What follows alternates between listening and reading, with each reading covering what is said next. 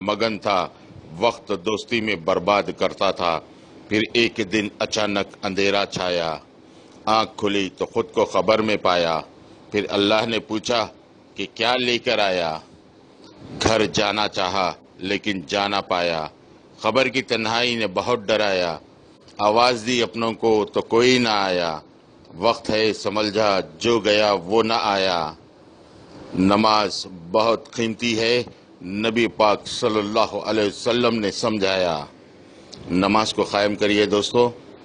और इस मैसेज को रोकिए मत। आप जब मैसेज रोकेंगे तो इंशाल्लाह आपको शैतान जो है सो रोकने की कोशिश करेंगे, उसको लाहौल पढ़िए और इस मैसेज को आगे बढ़ाइए। जितने लोगों को ये पहुंचेगा, अगर उसमें से